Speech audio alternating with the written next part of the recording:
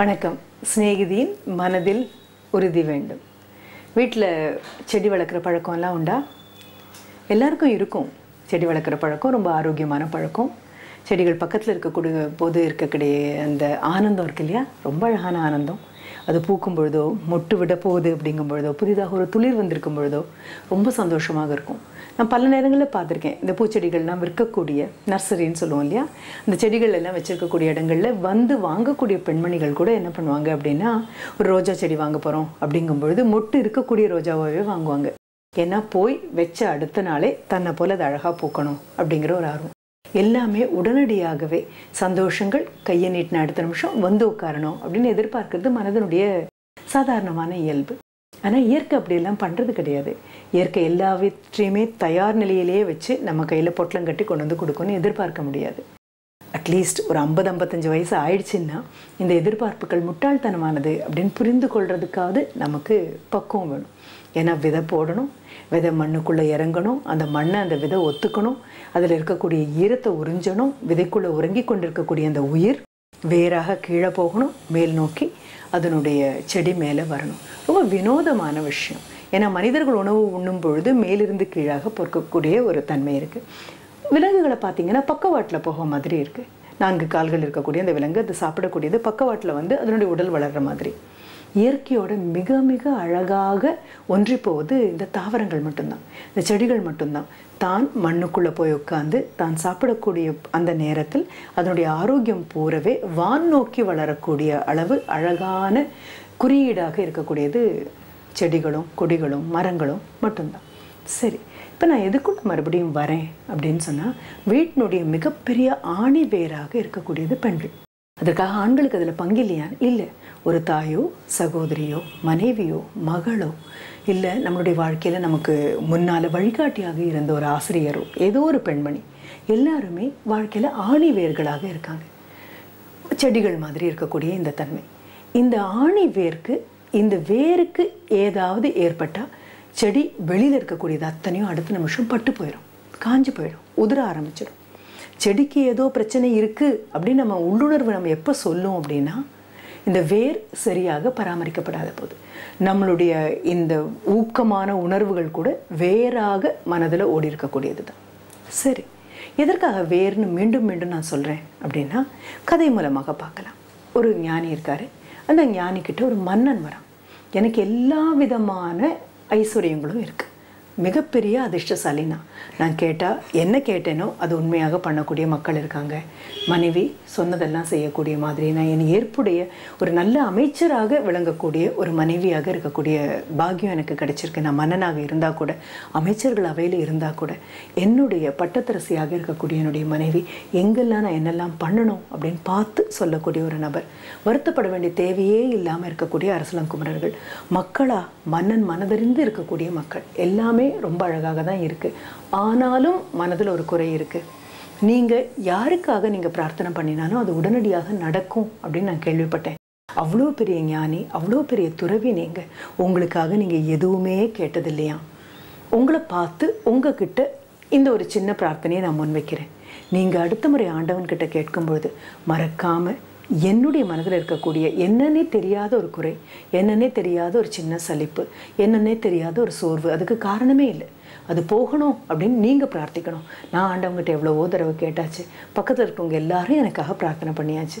ஆனாலும் இந்த குறை மட்டும் என்னன்னு தெரியாத ஒரு சின்ன ஒரு இடரல் மனதில் இருந்துகிட்டே இருக்குது நீங்கள் எவ்வளோ பெரிய ஞானி. இறைவன்கிட்ட இப்போ நீங்கள் ஒரு பூஜை பண்ண போகிறீங்க இல்லையா? அந்த பிரார்த்தனை அப்போ எனக்காக கேளுங்க. ஒன்றுமே சொல்லலை. அந்த ஞானி சிரிச்சிட்டே சொல்கிறாரு சரி கேட்டால் போச்சு. நான் கேட்டால் ஆண்டவன் கொடுப்பான்னு நம்பிக்கிறீங்க இல்லையா? அந்த நம்பிக்கையே முன்னிறுத்துவோம் அப்படின்னு ரொம்ப அழகாக புன்சிரிப்பு மாறாமல் இறைவா எல்லாருக்கும் என்ன கிடைக்கணும்னு நினைக்கிறியோ அதையெல்லாம் கொடு. எல்லாரும் நல்லா இருக்கிற மாதிரி ஆசீர்வாதம் பண்ணு. எல்லாருக்கும் வாழ்க்கை மகிழ்ச்சியாக இருக்கட்டும் நிறைவாக இருக்கட்டும் நல்ல புத்தி இருக்கட்டும் கருணை இருக்கட்டும் அப்படின்னு பொதுவாகவே கேட்டுகிட்டே போகிறார் கேட்டுகிட்டே போய் பிரார்த்தனை முடிஞ்சுது அப்படின்னு சொன்ன உடனே மன்னனுக்கு ரொம்ப ஏமாற்றமாக போச்சு. ஒரு மன்னன் மன்னனுங்கிற தகுதியிலிருந்து இறங்கி இந்த ஞானி அவருடைய காலில் விழுந்து அவருக்கு செய்ய வேண்டிய மரியாதைகள் எல்லாம் செஞ்சு அவர்கிட்ட ரொம்ப அழகான ஒரு விண்ணப்பமாக கேட்டேன். எனக்கு ஒரு விரக்தி இருக்குது ஒரு திருப்தியின்மை இருக்குது ஒரு அமைதியின்மை இருக்குது இது போகணும்னு ஆண்டவங்கிட்ட தனியாக நீங்கள் பிரார்த்திக்கணும் அப்படின்னு கேட்டிருக்கேன். ஆனால் இது எதுவுமே நடக்காத மாதிரி நான் எதுவுமே கேட்காத மாதிரி எல்லாருக்கும் பொதுவாக நல்லதே வாய்க்கட்டும். அப்படின்னு ஒரு பிரார்த்தனை. நான் கேட்காட்டாலும் இவர் இதுதானே சொல்லியிருக்க போகிறாரு அப்படின்னு மன்னனுக்கு சோர்வாக இருக்குது மன்னன் சொல்கிறார் நான் இதுக்காகவும் வந்து உங்ககிட்ட கேட்டேன்? நீங்கள் தனிப்பட்ட முறையில் எனக்கு ஒரு சிபாரிசு மாதிரி ஆண்டவங்கிட்ட ஒரு வார்த்தை சொல்லியிருக்கலாமே. சொல்லியிருந்தா எனக்கு கண்டிப்பாக நடக்கும். நீங்கள் ஏன் அது பண்ணலை? அப்படிங்கும் பொழுது மன்னன் கையை பிடிச்சி கூட்டிகிட்டு போகிறாரு இந்த ஞானி. வாங்க கூட்டிகிட்டு போகிறேன் வாங்க அப்படிங்கிறார் கூட்டிகிட்டு போனோன்னு பார்த்தா மன்னனுடைய மிக அழகான நந்தவனம் மிக எல்லோரும் அக்கறையோடு பார்த்து பார்த்து வளர்க்கக்கூடிய நந்தவனம் செடிகளும் பூக்களும் அவ்வளோ அழகாக இருக்குது எங்கேயும் கிடைக்காத கனிவகைகள் அங்கே இருக்குது எங்கேயும் வராத பறவைகள் அங்கெல்லாம் வருது. எங்கேயுமே பார்த்துருக்காத அந்த அவ்வளோ அழகான பூக்கள் பூத்திருக்கக்கூடிய குறையே இல்லாத ஒரு அழகான நந்தவனம். மன்னன் கையை பிடிச்சி ஞானி மிக நிதானமாக சுற்றி சுற்றி வராரு. சுற்றி சுற்றி வரும்பொழுது பார்த்தா ஒரு மூலையில் ஒரு செடி வாடி இருக்கு. இந்த செடி வாடி இருந்த அடுத்த நிமிஷம் மன்னன் கிட்ட அவர் சொல்றாரு இந்த செடி வாடி இருக்கே. இதுக்கு தண்ணீர் பத்தலை போல இருக்கு. ஒரு குடம் நீர் கொண்டு வந்து ஊற்ற சொல்லுங்க. அப்படின்னு சொன்ன உடனே மன்னன் யார் இதை இப்படி கவனிக்காமல் விட்டுருக்கீங்க? போய் சீக்கிரம் ஒரு குடம் நீர் எடுத்துட்டு வா. அவ்வளோதான் ஒரு குடம் தண்ணீர் வந்தது. வந்த உடனே மன்னன் கையில் கொடுத்து ஞானி சொல்கிறார் ஊத்துப்பா. அப்படின்னு சொல்கிறார் ஏன்? இல்லை ஊற்றுங்க. அப்படின்னு அடுத்த நிமிஷம் மன்னன் குடத்தை எடுத்து அந்த செடியினுடைய கால் பகுதியாக அது வேர் ஒன்றி நிற்கக்கூடிய அந்த இடத்துல ஊத்துறாரு. அப்புறம் ஊற்றிட்டு காலி கொடுத்து கொடுத்து அனுப்பிச்சாச்சு.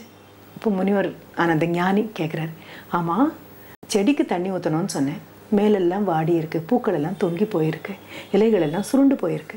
செடிக்கு தண்ணி ஊற்றணுன்னு எங்கே ஊற்றினீங்க அப்படின்னு கேட்குறாரு கேட்ட உடனே மண் ஆமாம் வேருக்கு தான் ஊற்றுறேன் வேருக்கு ஏன் தனியாக ஊற்றுனீங்க நீங்கள் பூக்கு ஊற்றிருக்கணும் அங்கே தொ காஞ்சு சுருண்டு போயிருக்கக்கூடிய இலைக்கு ஊற்றிருக்கணும் அதை விட்டுட்டு வேருக்கு ஊற்றினீங்க ஆ வேருக்கு ஊற்றினா தன்னை போல் அது எல்லா இடத்துக்கும் போகாதா?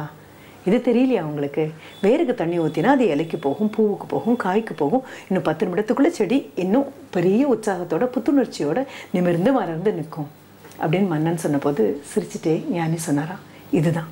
எல்லாருக்கும் கொடு எல்லாருக்கும் கொடு அப்படிங்கிற எண்ணம் தான் வேர். உலகம் நல்லா இருக்கணுங்கிற நினப்பு தான் வேர்.